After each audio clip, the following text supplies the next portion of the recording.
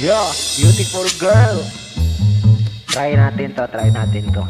Hi, nauna mapapakilala pala ako nga. Ako nga pala si Bridin Pilapil. So, let's do this.